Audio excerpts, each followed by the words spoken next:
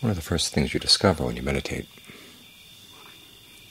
is that you can set up the intention to stay with the breath.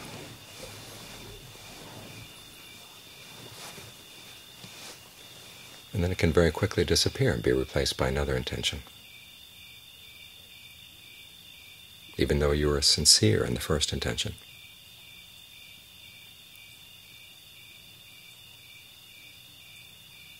It's almost as if you have many minds. And strictly speaking, there is just one mind in every person.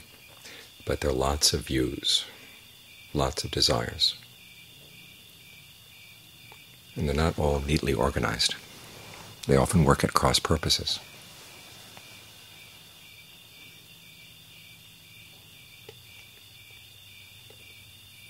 And so it's useful to think of these desires as a committee, and a very disorganized committee as well.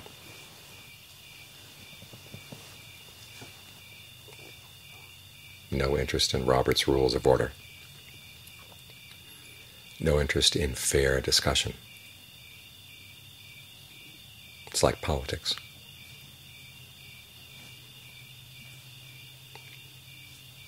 And when you're meditating, you're trying to impose some order on the discussion.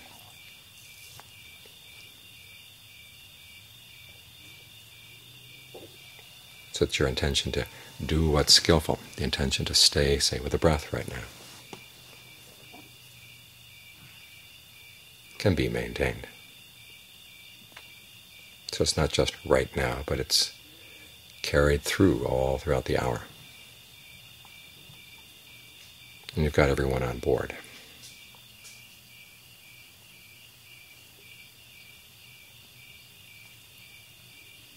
First thing you've got to understand is that Every desire in the mind aims at happiness. That's what they all have in common. And that's that can become their basis for discussion, their basis for negotiation.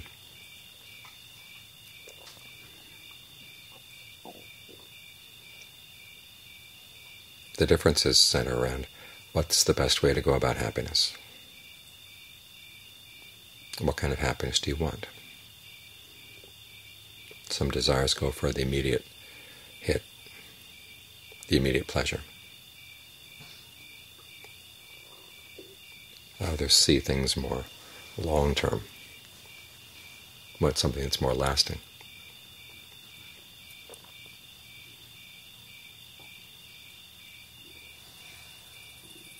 Fortunately, the path that the Buddha teaches offers a little something to both.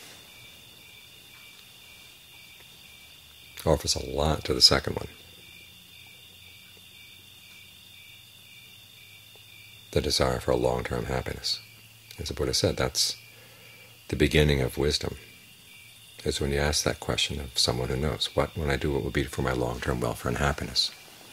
The wisdom here is twofold. One, realizing that the happiness has to come from your actions. It's not going to just come floating by. And then secondly, you want long-term happiness. Short-term happiness is something anybody can find, even common animals. can find that kind of happiness. But the long term is more valuable.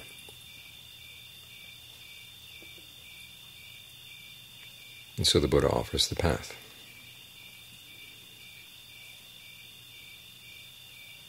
And you follow this path, and that will be for your long-term welfare and happiness. Notice he has you respect that desire for true happiness.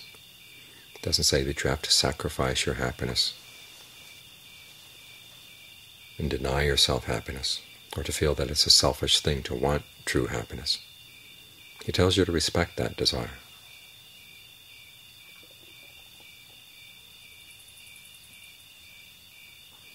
But he also recognizes that the mind has its desire for immediate happiness right now. So he teaches you to start appreciating what kind of immediate happiness you get from being on the path.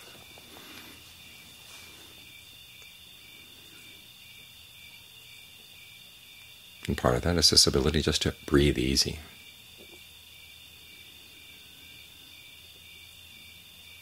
As he says, breathing easy requires knowing that your actions are not harming anyone. This is why we have the principle of the precepts. in terms of the path factors, we've got right action, right speech, right livelihood. The way you act, the way you talk, the way you provide for your living is something you try to keep as harmless as possible.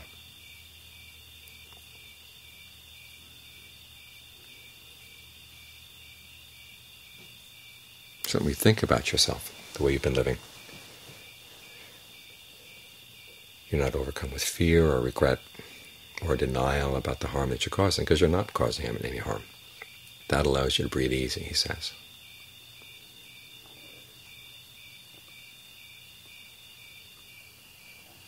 It's the kind of pleasure we tend to overlook. But it's very important. The more sensitive you get to that kind of pleasure, the easier you find it is to find pleasure right now. Of course, another way of breathing easy is just what we're doing right now, breathing easy as we focus on the breath.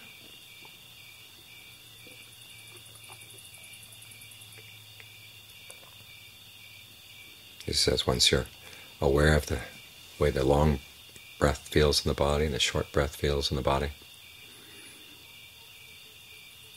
and become aware of the whole body as you breathe in, the whole body as you breathe out. The next step, as he says, is to calm bodily fabrication.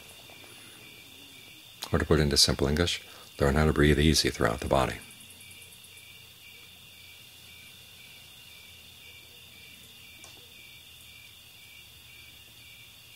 And allow that sense of easy breathing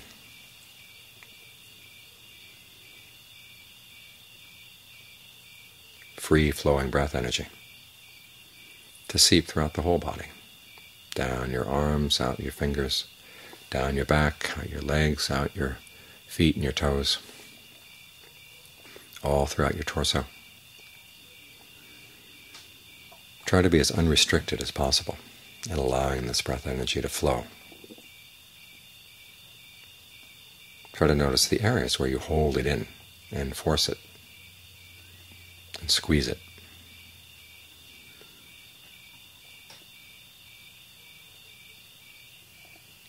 And then send out the order to all little stations in the body. Okay, let, let the breath energy flow wherever you find it.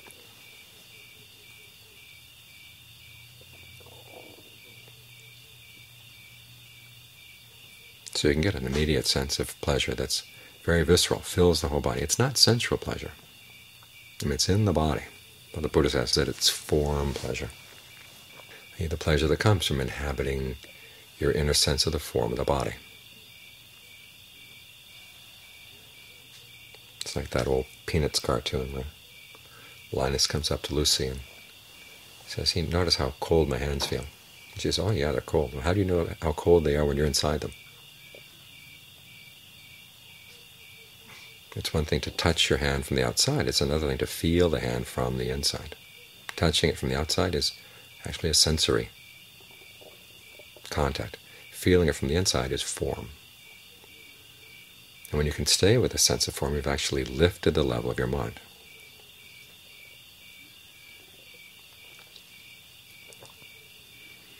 The more you can get a sense of pleasure here, the greater ease you feel right here, the easier it is to fend off other thoughts that come into the mind that insist that you have to think about them.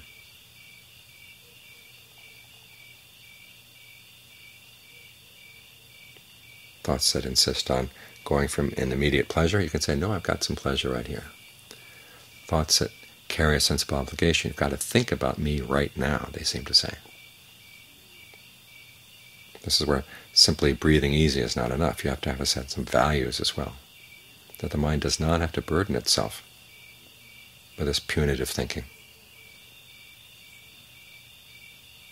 or its old false sense of obligation.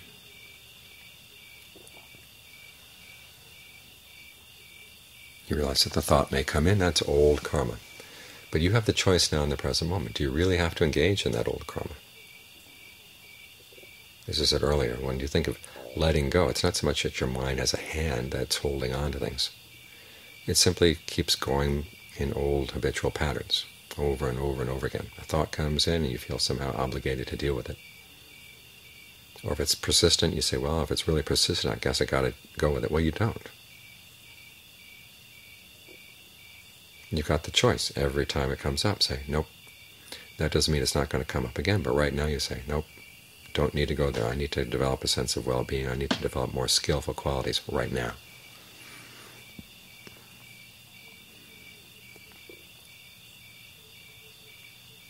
And if you find that it's persistent, you can either decide to focus on the drawbacks of thinking about it, or say, I can let it come, but I'm not going to go with it. Again, this is where it's useful to think about the mind as a committee. You've got the breath right here. You can focus on the breath even though there's a thought lurking around in the mind someplace, even if it's shouting at you. You can stay right here. I was once teaching meditation at Swarthmore College. And they gave us this room and had an extremely loud clock. Those old clocks that ticked very loudly with every second. And at the end of the first session, all the students opened their eyes, and the first thing they said was, that clock. Well, I had to remind them, well, the clock was there, but the breath was there as well. The clock didn't destroy the breath. Just made it that much more important that you be really careful to stay focused on the breath. I mean, in other areas of life, we learn how to stay focused on something even though there are other things seem to be clamoring for our attention. Remember when I was young, I'd be reading a book, and my mother would come in, and she'd want to talk, and I'd want to read my book. So I learned how to read the book and kind of listen to the tone of her voice to know when to say, mm-hmm, mm-hmm.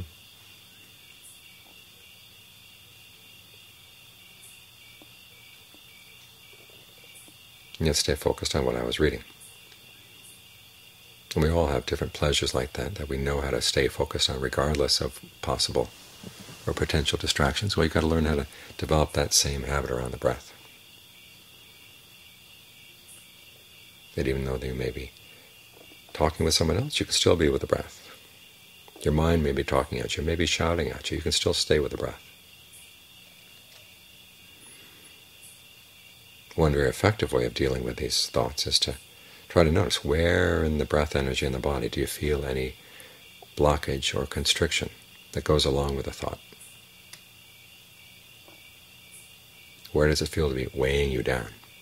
Once you notice it, think of the breath going right there and exploding that tension. Ajaan Fuang used to use that word a lot, explode the breath throughout the body.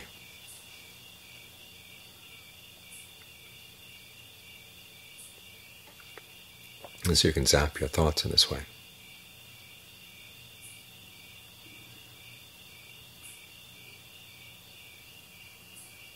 Keep that sense of ease and well-being as full in the body as possible. And this, of course, might become threatening to another part of the mind, which always wants to be in control. Doesn't trust a sense of pleasure filling the body or feels threatened by the sense of pleasure in the body. But again, you've got to regard that simply as one more member of the committee.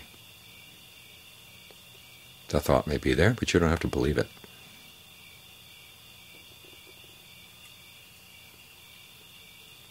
Part of the mind says this is threatening or this is boring or this is whatever, learn to see that simply as another member of the committee. It may be one that you tend to identify with, but you can ask yourself, well, why do I have to identify with it? After all, what am I here for? You read the text like the, the one we chanted just now. Rapture and pleasure born of seclusion. Rapture and pleasure born of concentration. These are things that we're after and at least part of us wants that sense of rapture and pleasure. Of course, there's another part that once the rapture and pleasure actually come, feels threatened. So learn to step back from it, just watch it as you stay with the breath. Recognize it simply as one more thought formation that you don't have to believe, you don't have to give in to.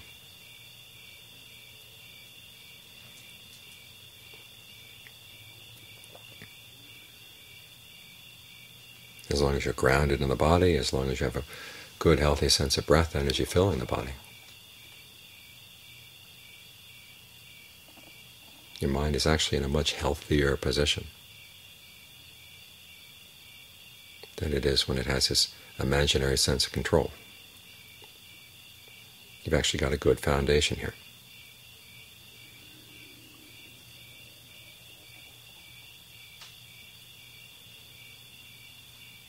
Then get back to breathing easy.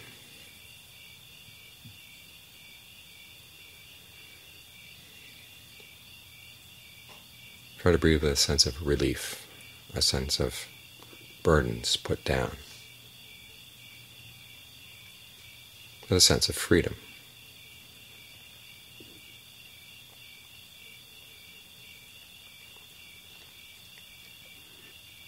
That way you can begin to satisfy some of that desire for an immediate pleasure, an immediate sense of well-being. And this kind of pleasure, this kind of well-being is a lot healthier than the other immediate pleasures we tend to go for. It doesn't cost anything, doesn't harm anyone, doesn't create any sense of intoxication.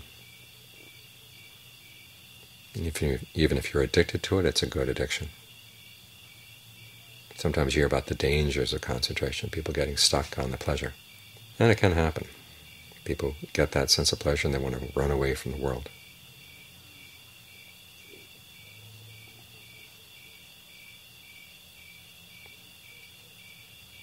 That kind of addiction can be dealt with. And it's a lot less harmful than the addiction that comes from demanding beautiful sights, beautiful sounds, beautiful tastes, wonderful tastes, aromas, tactile sensations. That kind of sensual pleasure, that kind of sensual demand, is what creates so much turmoil in the world.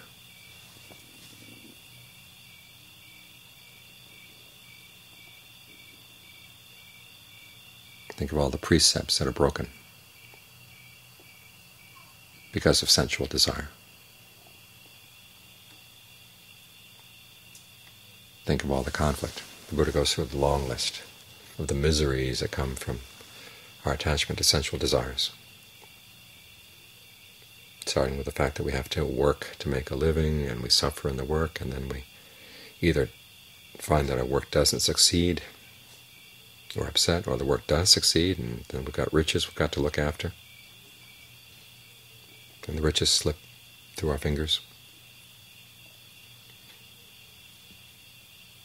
We get into battles within the family, within the society, between societies, all from our attachment to sensual pleasures. Our attachment to firm concentration, however, doesn't carry those dangers. The one danger is that you get stuck on this and you don't want to go on to awakening. You have a sense, well, this is good enough right here. As I said, that kind of attachment is a lot less harmful and can be much more easily overcome.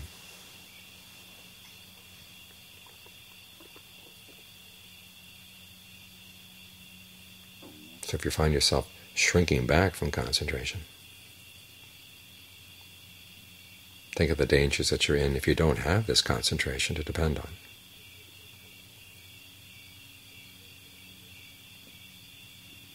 And if you find other thoughts getting in the way of the concentration, remind yourself you've got the breath right here. It's not destroyed by any thought that comes in the mind.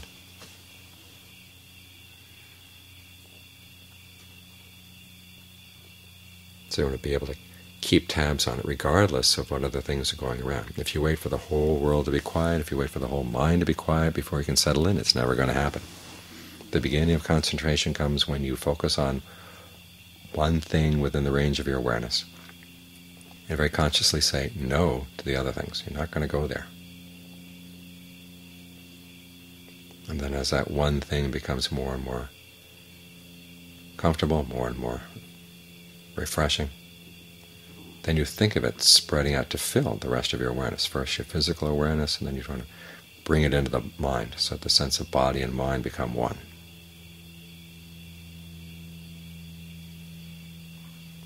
That's how you develop the singleness of mind. That's a feature of right concentration. You can't wait until the world is perfect to begin training your mind. If you did, it would never happen. So you start with your own little spot. It's like lighting a fire in the wind. You've got the kindling, you've got the wood all there. And you light this one little flame, and for a while it's very, very tiny, and the wind is very, very strong. So you've got to protect it. Cup it with your hands. Tend to it. Be very patient.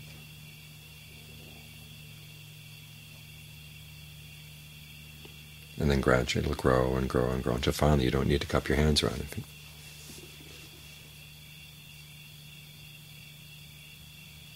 It burns the entire pile of wood, the entire pile of kindling.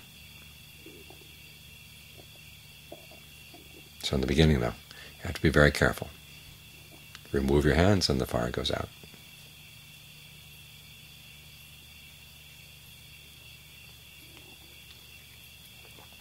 So protect that sense of well-being in the breath.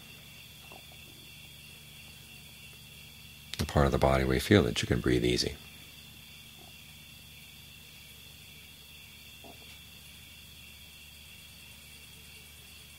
Because that's how right concentration begins.